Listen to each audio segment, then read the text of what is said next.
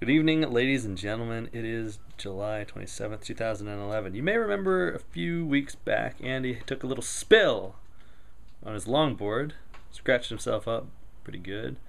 Uh, well, in the uh, recovering days since, he's been picking at all of his scabs because that's what everyone does. And he just picked off the last. Uh, hang on, I gotta like, I gotta focus on this thing because it's gonna be gross. Oh, oh, it's It's so like gr- the thickest scab I've ever. that's so gross. All right, let's see your. Uh, you just see all the festeringness of your. It's not festering. It might. You never know. You're gonna die, bro. Gangrene, scabies, AIDS, heroin, Budweiser. that uh, Olympic skier that whoever he was. Off that one. That one was huge. That's a Nate's car.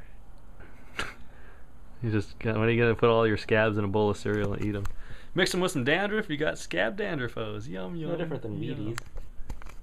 Pretty much the same thing. Breakfast of Scabs. breakfast of champions. Creepios. I believe he is watching Netflix. It looks like he's praying. Or asleep, passed out in his own sick. Or maybe maybe he's sad or ill.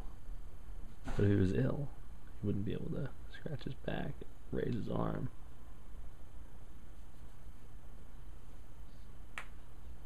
Maybe he's stretching, picking his scabs.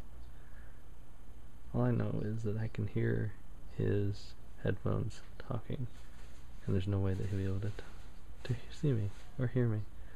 I would assume he'd be able to see me since I'm looking right at him and talking, but there he goes.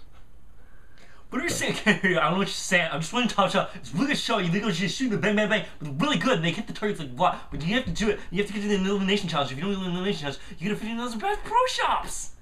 It's good. I like it.